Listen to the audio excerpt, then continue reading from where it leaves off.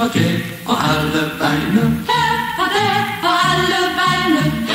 Og det og alle vegne. Jolly Cola, den store, ægte cola. Den store ægte cola. Og it's a jolly good cola. Og it's a jolly good cola.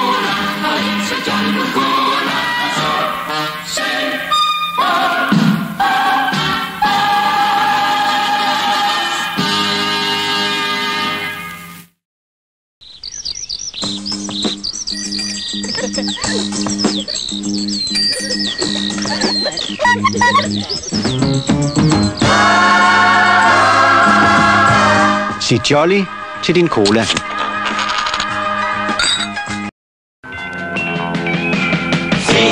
Jolly til din cola. Lidt lovet, lidt nakken Og maven på den slukker. Sig Jolly til din cola. Den puffer dig i gang Hvis du går og mukker. Jolly er med Når I er flere Skyld en enkelt ned. Den smager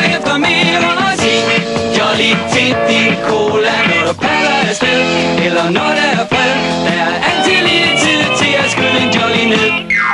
Jolly, jolly, sig jolly, jolly, jolly, til din cola.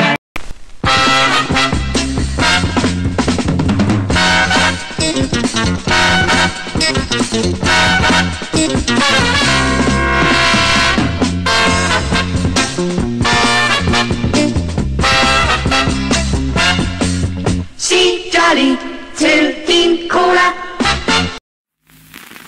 Go, Johnny, go, go. Go, Johnny, go, go. Go, Johnny, go, go. Go, Johnny, go, go, go. Jolly! Problem. Den slukker tørsten fremragende, men opfattes som uoriginal. Årsag. Den lyder og smager som de udenlandske colaer, og flasken er en usekset dansk sodavandsflaske. Men vi tester i øjeblikket et alternativ. Det minder om en... Øh...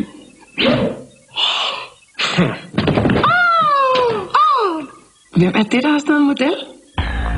Er det dig? Gris. La cucaracha. Nej, nej. Konklusion. Flasken fremkalder spændende reaktioner. Alligevel er ideen opgivet til fordel for en ny let flaske, hvor der ganske enkelt er dobbelt så meget i. Hverken original eller sexet, men god mod tørst. Problem. Den slukker tørsten fremragende, men opfattes som uoriginal. Årsag. Flasken er en almindelig dansk sodavandsflaske, og den lyder og smager som de udenlandske colaer. Nye forsøg er imidlertid iværksat for at gøre Jolly Cola til den mest sexede cola i verden. Vi eksperimenterer med lyden, når man åbner den.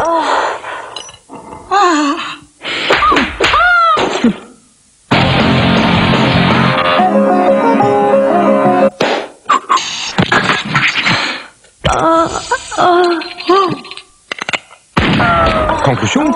Ideen er fundet morsom, men alligevel opgivet. Cola handler jo ikke om sex, men om tørst. Derfor vil en Jolly Cola fortsat lyde som følger.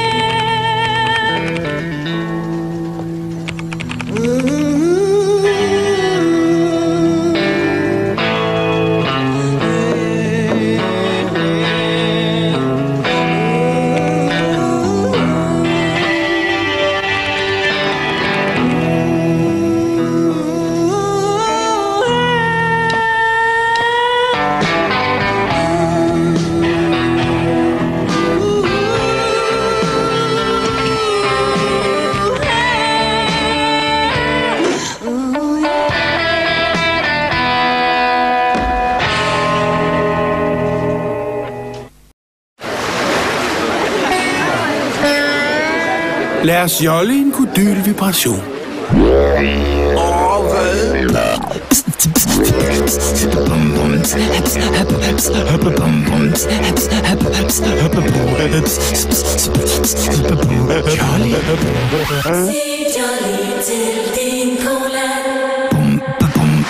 Join the Jolly Movement og vind kodyl fede præmier.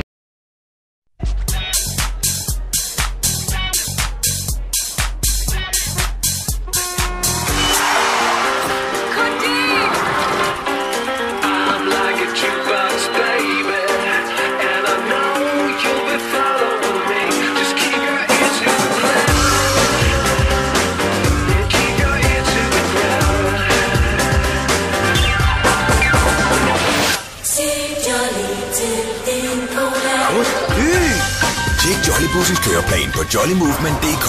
Du finder os over hele landet i forbindelse med Sole Sommerpio.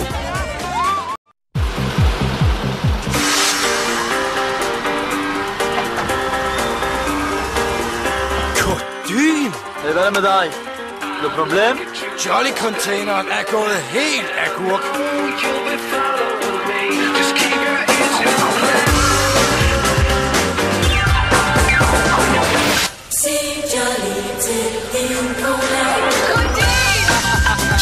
Tjek køreplan på jollymovement.dk. Du finder os over hele landet i forbindelse med Sole Sommerpio. Dags. Og undskyld. Øh, som du måske ved, så kan man score nogle af de ting, som Jolly-pigerne viser frem her i baggrunden ved at samle på Jolly-kapsler. Og jeg har lige samlet 22 her, og det du skal gøre, det står bag, øh, bag, bag etiketten, og så skal du bare samle dine point ind her og sende dem ind til Jolly.